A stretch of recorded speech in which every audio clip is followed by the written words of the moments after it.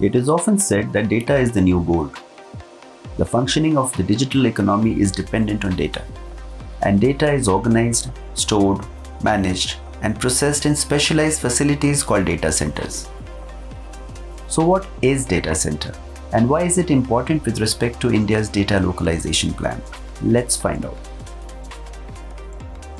A data center is a specialized physical facility of network computers, storages, and other information technology equipment that businesses, organizations, and other entities in the online space use to organize, process, store, and disseminate large amounts of data. Such physical facilities are available all across the world and are not restricted by geographical borders.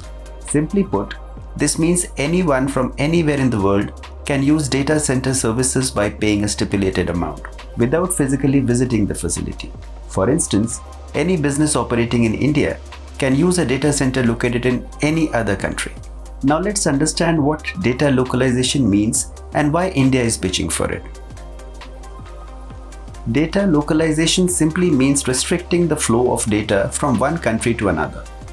In India's context, localization will make it mandatory for companies collecting critical consumer data to store and process it in data centers present within India's borders.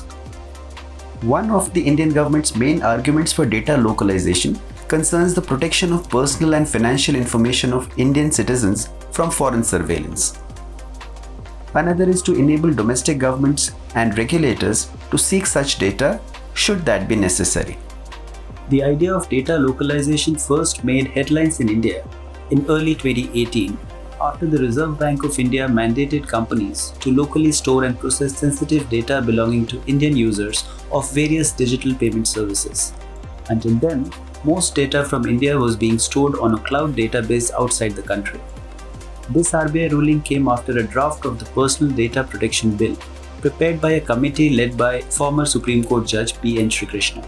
A modified bill was later tabled in Parliament on 11th of December 2019 and referred to a joint committee. The approval to the bill remains pending, therefore no fines are currently imposed on companies for non-compliance. If you like this video, share it and subscribe to Business Standard. For more news, views and insights, log on to www.business-standard.com. Do also follow us on YouTube, Twitter, Facebook, Instagram, Telegram and LinkedIn.